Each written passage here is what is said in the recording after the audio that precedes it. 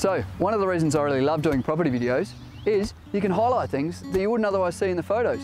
For instance, just 20 metres across the road is this beautiful park. Go on, have a look, see what you reckon.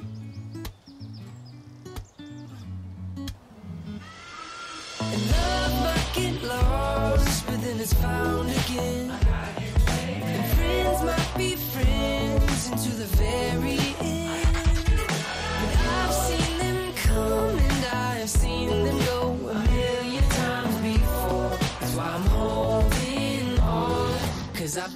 you.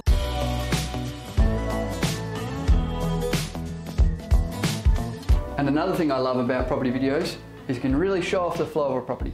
That was the front door, this is the study, and in here, you've got a quiet little space with your own little bathroom.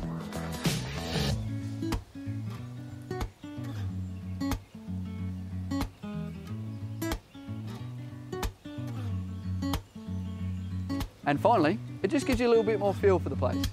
Anyway, hope that sun comes out for the open.